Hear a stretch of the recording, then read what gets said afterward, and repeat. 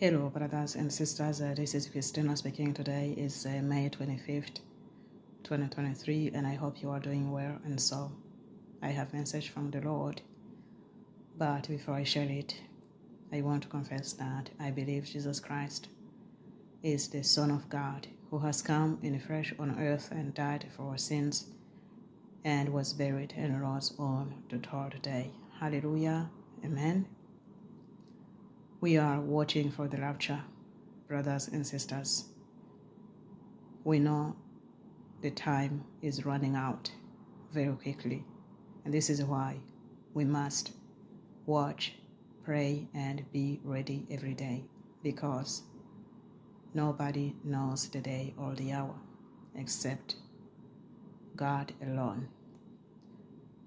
We are living in the last moments the rapture can happen any day now. If it is not the rapture, your life might end today, and this is why we must be ready every day. I'm going to share with you a message from the Lord, and this is another warning. This message is for those who worship Mother Mary, Queen of Heaven, Mother God, saints, angels, statues, pictures, and graves, images. The Lord said that worshipping these things is an abomination in His eyes. He said that all these things are idols and he hates idolaters. If you're worshiping these things, brothers and sisters, you must stop and repent before it is too late. Time is very short.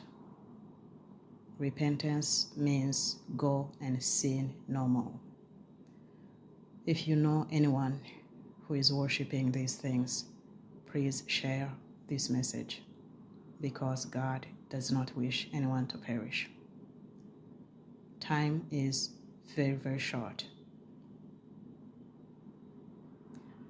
I am going to share with you a dream I had from the Lord on May 4th, a few weeks ago, in which I was taken to a place where people were gathered in prayer and worship. And suddenly, one of them said to me, Oh, the Virgin Mary appeared to us. When he stopped talking, I saw a statue of Mother Mary standing in front of them. They were worshiping her.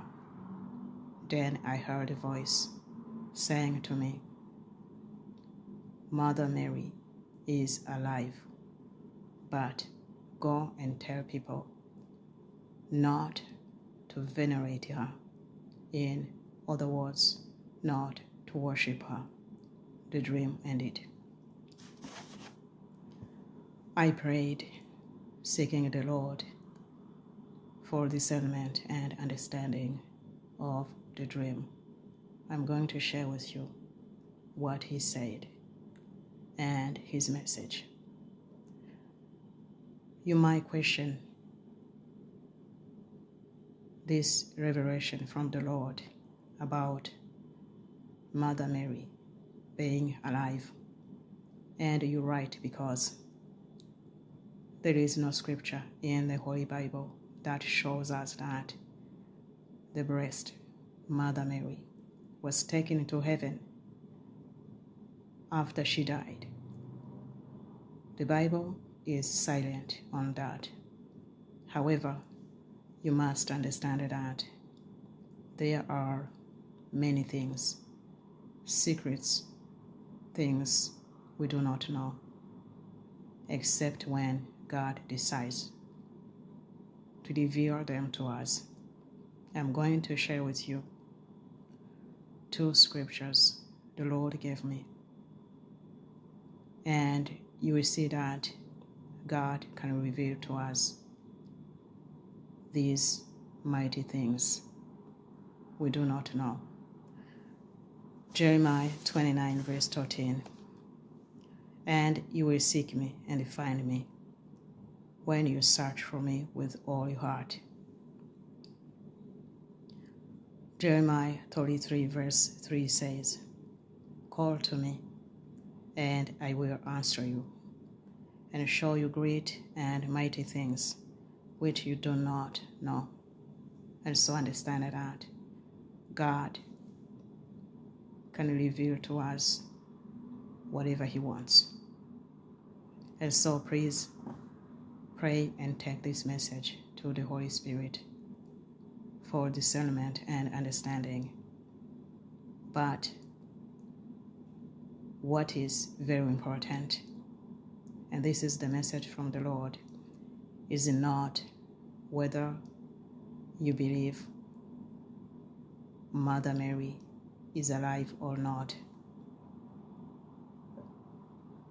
What is very important is not to venerate her, in other words, not to worship her because she's not God. For those who want to understand who the breast Mother Mary is, you might read Luke chapter 1. And I believe the breast Mother Mary deserves all our respect, but we must not worship her.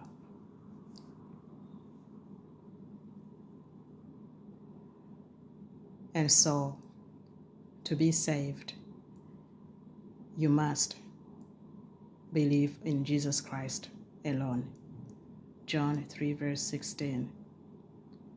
For God so loved the world and gave his only begotten Son, Jesus Christ, to die for our sins, and so whoever believes in him shall not perish, but have everlasting life. John 3, verse 36 says, He who believes in the Son has everlasting life, and he who does not believe the Son shall not see life, but the wrath of God abides on him. Understand that Jesus Christ is the only way to heaven, there is no other way. Jesus Christ is our God and Savior of all mankind. John 14, verse 6 says, Jesus says, I am the way and the truth and the life. No man comes to the Father except through me. Hallelujah. And so, brothers and sisters, we must worship God only. The Lord said that many worship Mother Mary as the Queen of Heaven, and others worship Mother God.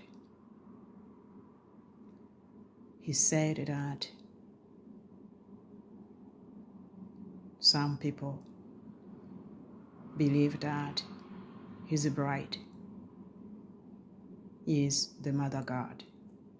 He said that this is not the truth, brothers and sisters. He said that there is nowhere in the Bible where it shows that the bride, Rami's wife, is the mother God. And so, if you are worshiping Mother Mary as Queen of Heaven or the bride, Rami's wife, as the Mother God, you must stop and repent before it is too late because you are provoking God to anger, brothers and sisters, I'm going to share with you a few scriptures from the Lord in order to understand what God is saying about those who worship these things, those who worship Queen of Heaven. Jeremiah 7, from verse 17 to 21. Do you not see what they do in the cities of Judah and in the streets of Jerusalem? The children gather wood, the fathers kindle the fire, and the women knead dough to make cakes for the Queen of Heaven, and they pull out drink offerings to other gods, that they might provoke me to anger. Do they provoke me to anger? says the Lord God. Do they not provoke themselves to the shame of their own faces? Therefore, thus says the Lord God Behold, my anger and my fury will be poured out on this place, on man and on beast, on the trees of the field and on the fruit of the ground and it will burn and not be quenched. Thus says the Lord of hosts, the God of Israel Add the burnt offerings to your sacrifices and eat meat. He gave me another scripture, which also talks about Queen of Heaven, Jeremiah 44 from verse 17 to 30.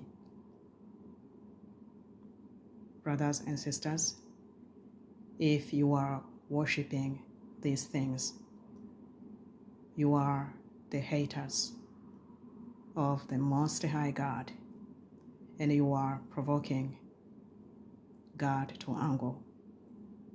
You must stop and repent. I'm going to give you another scripture from the Lord. And this is the commandments of God about his worship. Exodus 20, from verse 3 to 6. You shall have no other gods before me. You shall not make for yourself a carved image any likeness of anything that is in heaven above, or that is in the earth beneath, or that is in the water under the earth. You shall not bow down to them, nor serve them. For I, the Lord your God, am a jealous God, visiting the iniquity of the fathers upon the children to the third and fourth generations of those who hate me, but showing mercy to thousands to those who love me and keep my commandments. Brothers and sisters,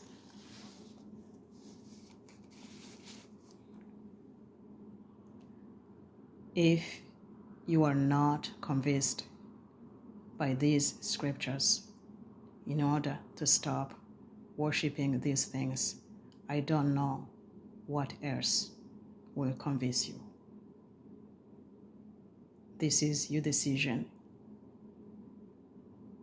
You must stop worshiping these things and repent because we don't have much time left. I hope you are listening. I am only here to give you the message from the Lord. it's up to you to make the right decision. And so, um,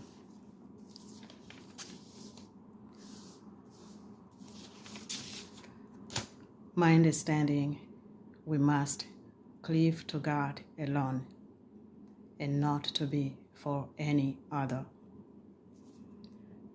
We are forbidden to worship even the true God by images, especially when they are set up in the holy place. This is an abomination in God's eyes.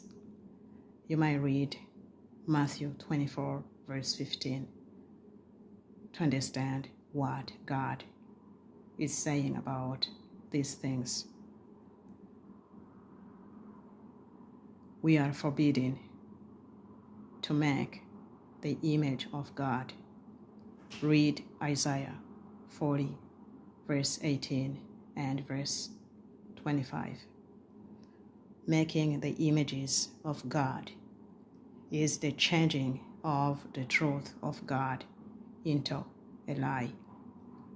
This is Romans chapter 1, verse 25.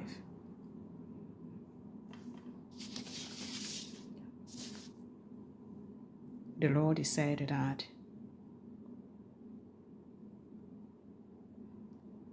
when you worship Him, you must not have any image before you for directing, exciting, or assisting you to your devotion because this will not please Him. Brothers and sisters, we must worship God alone.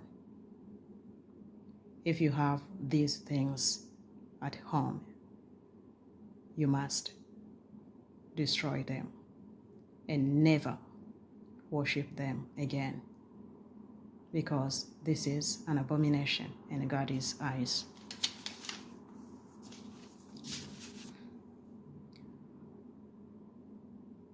The Lord said to me, Tell my people not to take my name in vain. When he said that, he gave me a scripture, Matthew 15, from verse 7 to 9, which says, These people draw near to me with their mouth and honor me with their lips, but their heart is far from me, and in vain they worship me, teaching as doctrines the commandments of men. Brothers and sisters, stop taking the name of God in vain. I used to have these things at home. I used to have the pictures and images of Jesus until he commanded me to destroy everything.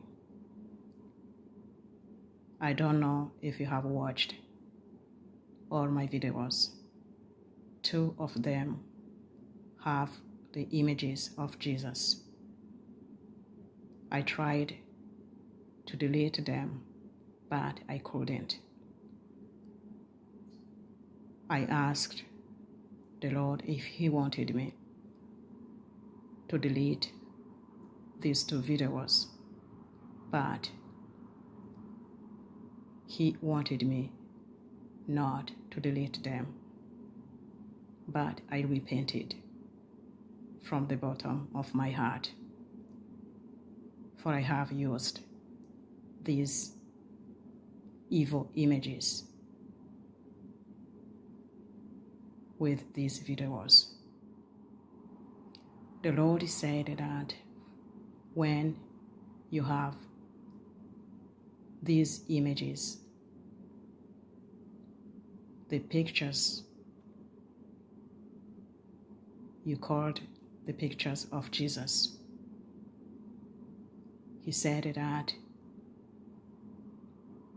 all these things, when you have them, eventually you become addicted to them. Then you are tempted to worship them. He said that Satan and his demons love those things. When you have those things at your home, you have given rights to Satan and his demons to come into your house. And this is why many are being attacked without even knowing it. And so, please stop having those things at home because they are not Jesus Christ of Nazareth, our God and Savior. When he said that, he gave me a scripture, John chapter 4, from verse 23 and 24. Worship God in spirit and in truth. God is spirit, brothers and sisters. Then the Lord told me to remember 2 Corinthians 11, verse 14, which says, For Satan himself transforms himself into an angel of light. I hope you are listening, brothers and sisters. Those pictures you call Jesus, those images of God you have at home, those statues, you must destroy them. He gave me a scripture which will help you to understand. Revelation chapter 1 from verse 9 to 19. And this is a vision of Son of Man, which was given to John. And so, if you read this scripture, it will give you an idea of how Jesus Christ looks like I hope you read Revelation chapter 1 from verse 9 to 19. The Lord said that many worship the angels and the saints. This is an abomination in his eyes. He gave me Hebrews chapter 1, verse 14. And the Lord told me that angels are his servants, and so we must not worship them. We must not worship the saints, neither. He gave me another scripture, Revelation 22, verse 9. And this is a vision that was given to John. And so John wanted to worship the angel, and the angel rebuked him and told him to worship God only. And so understand that, brothers and sisters, we are not allowed to worship these things, we must worship God alone. I hope you understand this message. Matthew chapter 4, verse 10 reminds us to worship the Lord God and serve Him only. Nothing else must be allowed to take his place. Please share this message with our brothers and sisters because time is very short. If you have not given your life to the Lord Jesus Christ, turn to Him right now receive and accept Him as your God and Savior. Believe and repent of your sins. Time is very short. Once you have received and accepted Jesus Christ as your Son, as your God and Savior, you believe in Him, then get baptized of the water and Spirit. Being born again means you believe in God, you love Him, you obey Him, and you keep His commandments. Time is very very short, and only those who are ready will be taken in the rapture. Let's pray. Heavenly Father, in His Son's name, Jesus Christ, have mercy on us and on the whole world. God bless you.